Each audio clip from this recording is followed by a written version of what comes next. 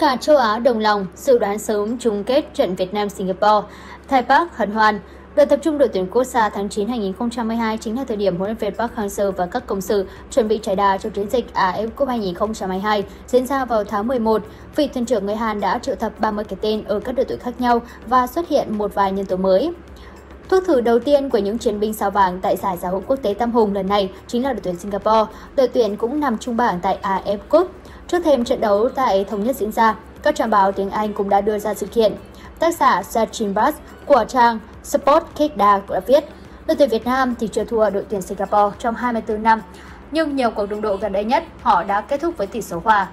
Nếu xét các kết quả của hai đội tuyển trong thời gian gần đây thì không đạt phong độ tốt nhất, nên một kết quả hòa dường như là khả năng xảy ra. Dự đoán tỷ số Việt Nam 1-1 Singapore. Trang MyTip thì đã viết, trong các trận đấu giao hữu gần đây, đội tuyển Việt Nam đã không thể hiện được sức mạnh vốn có, nhưng họ có thành tích sân nhà đáng ngưỡng mộ. Thật vậy, Việt Nam thất bại 10 trận giao hữu gần đây nhất trên sân nhà kể từ năm 2014. Ngược lại, Singapore đã thua 10 trong 12 trận giao hữu ở gần đây từ năm 2016.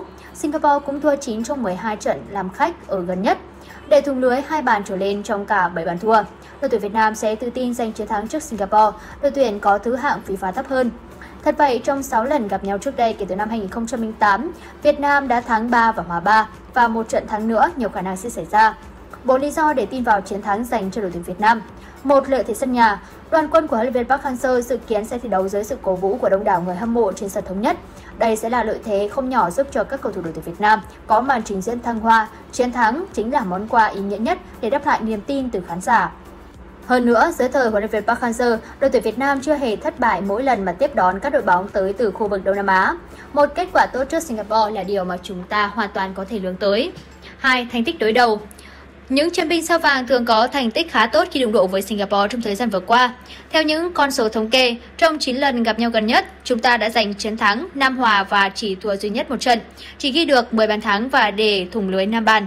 Cuộc đọ sức gần nhất giữa hai đội đã diễn ra cách đây 6 năm tại chung kết Asia Bank Cup năm 2016 tại Myanmar với chiến thắng 3-0 thuộc về đội tuyển Việt Nam.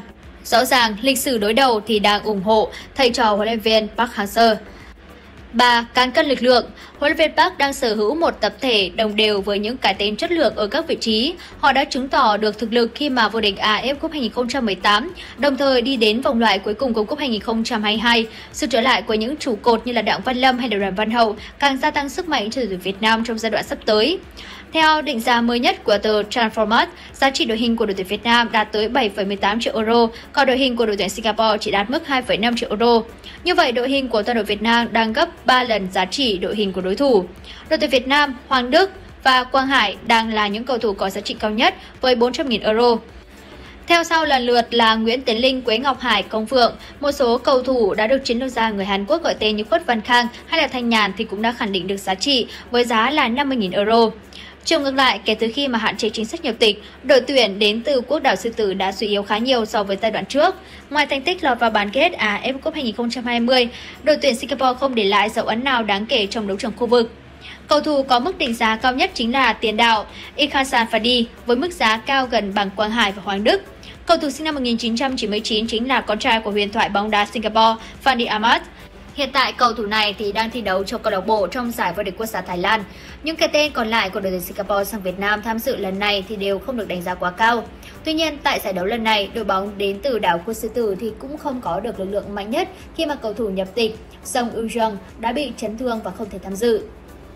4. Hướng tới AF Cup 2022 Cuộc đối sức với Singapore là màn chuẩn bị quan trọng cho tuyển Việt Nam hướng tới AF Cup vào cuối năm. Huấn luyện viên Park đã có cơ hội thử nghiệm chiến thuật và xây dựng lối chơi, tạo điều kiện cho các nhân tố mới được thử sức. Qua đó, thuyền trưởng người Hàn Quốc sẽ đưa ra những sự điều chỉnh cần thiết nhằm giúp cho những chiến binh sao vàng ngày càng hoàn thiện. Nên nhớ rằng, đội tuyển quốc đảo Sư Tử là một trong những đối thủ chúng ta sẽ đụng độ tại vòng bảng AF Cup 2022.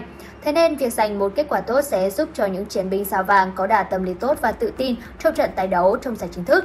Dù là một trận đấu giao hữu nhưng mà chiến thắng vẫn là điều mà đội tuyển Việt Nam cần phải hướng tới.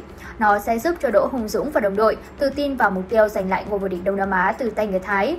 Trận đấu với Singapore tới đây sẽ là một bài test quan trọng dành cho huấn luyện viên Park Hang-seo và các học trò, khi mà đội tuyển quốc đảo xứ Tử cũng chính là đối thủ tại bảng B AF Cup 2022 vào cuối năm. Được biết, huấn luyện viên Park sẽ xem đây như là một dịp để đánh giá phong độ các trụ cột để thử nghiệm các tân binh tại đội tuyển Việt Nam.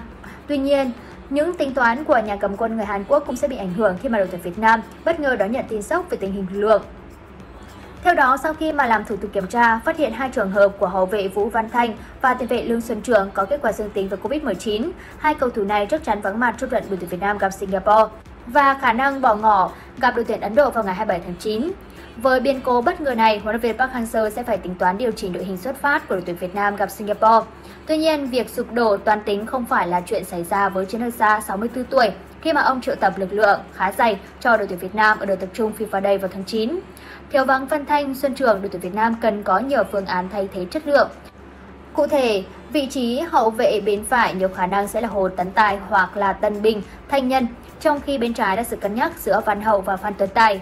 Ở giữa sân vốn dĩ đã không có Hoàng Đức, này lại vắng thêm Xuân Trường, đội tuyển Việt Nam sẽ có sự cạnh tranh giữa những cái tên quen thuộc Quang Hải, Tuấn Anh, Hùng Dũng với các nhân tố trẻ Lương Duy Cương, Khuất Văn Khang. Phát biểu của họp báo trước trận, huấn luyện viên Park Hang-seo khẳng định sẽ thực hiện nhiều thử nghiệm với hẹn trao cơ hội ra sân cho nhiều tân binh. Chúng tôi sẽ có những nhân tố mới cho đội tuyển Việt Nam. Các nhân tố mới sẽ được ra sân và tôi sẽ kiểm tra năng lực xem các bạn ấy thể hiện như thế nào. Vì mới tập luyện cùng với đội được 3 ngày nên các cầu thủ tỏ ra khá là hưng phấn, tuy nhiên cũng hồi hộp và căng thẳng. Các cầu thủ đàn anh trong đội thì cũng đã động viên và hỗ trợ những cầu thủ trẻ. Mặc dù vậy, các tân binh cũng sẽ gặp áp lực, đó là chuyện bình thường. Còn việc các cầu thủ trẻ có phát huy năng lực hay không thì tôi sẽ tạo ra bầu không khí và tạo điều kiện tốt nhất để họ phát huy. Các bạn ấy sẽ được ra sân và có cơ hội chứng tỏ năng lực của mình, ông Park nói. Trận đấu giữa tuyển Việt Nam và Singapore sẽ diễn ra vào lúc 19 giờ tối nay trên sân thống nhất. Thông tin mới nhất và diễn biến trực tiếp của trận đấu sẽ được chúng tôi truyền tải sớm nhất tới người hâm mộ.